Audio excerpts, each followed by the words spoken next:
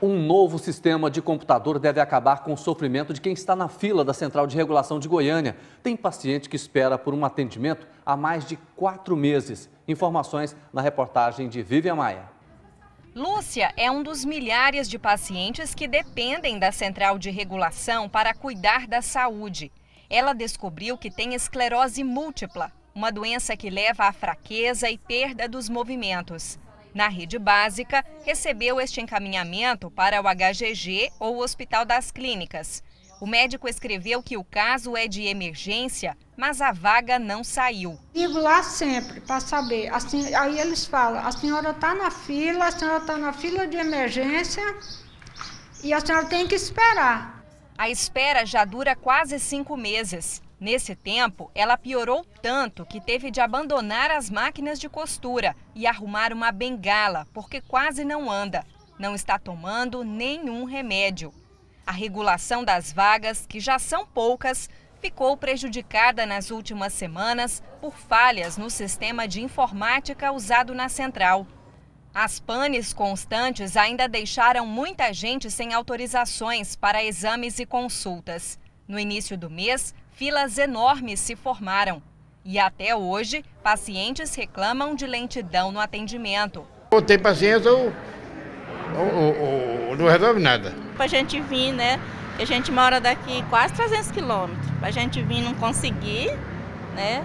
A Secretaria de Saúde anunciou a compra de um novo programa de computador para resolver o problema. A promessa é de que o um investimento de mais de 4 milhões de reais acabe com o sofrimento de quem fica perdendo tempo e saúde.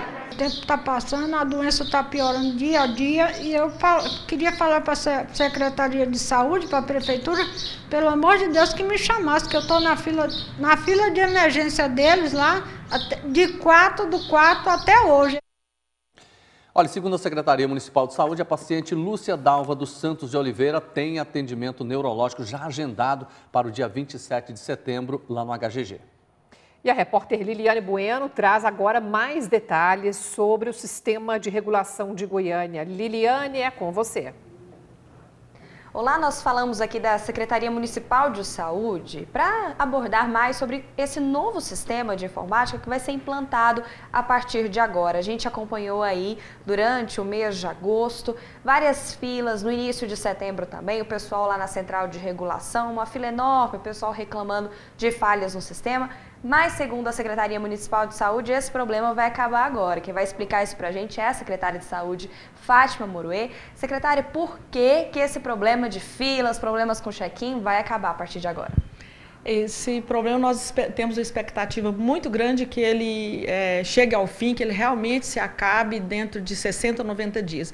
E o mecanismo certo para ele acabar é a informatização total com um sistema integrado que permite a execução de todas as, as medidas que hoje são feitas em papel e precisam de intermediários, que elas sejam feitas todas dentro desse sistema eletrônico para que o paciente não precise se deslocar tanto. Secretária, na prática, como é que vai ficar a vida do paciente? Porque hoje a gente sabe que ele vai até uma unidade de saúde, recebe ali o pedido de um exame, tem que ir à central de regulação, pegar o chequinho, ir até a unidade para agendar e depois ir novamente no dia quando consegue marcar uma peregrinação só. O que, que muda agora?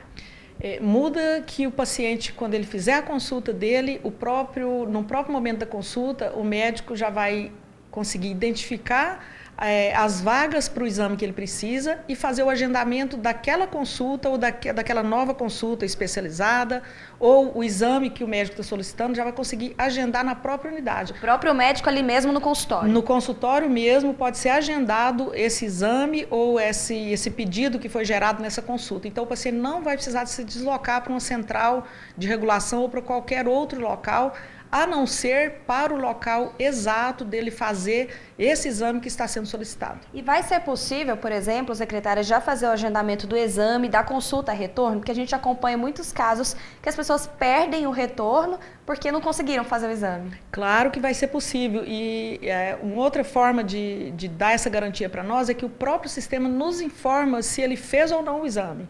Então, se por acaso ele não tiver feito o exame por algum motivo, nós podemos reagendar e comunicar ao paciente, ou seja, ele não vai dar viagem perdida. Como é que fica a situação do pessoal pessoal que ainda está no sistema antigo, lá com chequinho, aguardando?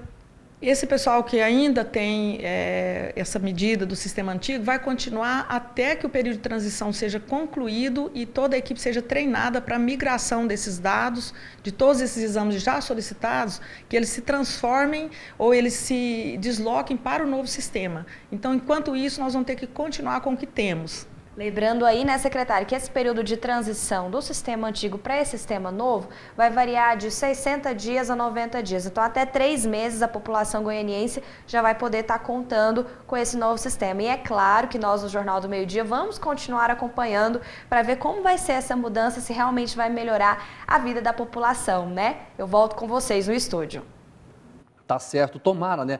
Porque na verdade é um sofrimento só. São milhares de pessoas à espera, por exemplo, daquela cirurgia chamada eletiva, aquela que não é considerada de urgência, mas que causa um sofrimento enorme. E a situação piorou nos últimos tempos, né? Porque o sistema deu pane, você não conseguia marcar nada, nem consulta, nem exame e muito menos cirurgia. E acabou acumulando, né? Marcação de cirurgias, de consultas, e é, é um sofrimento que vai se arrastando aí por muito tempo e além da doença, a pessoa viver essa angústia de não conseguir a cirurgia.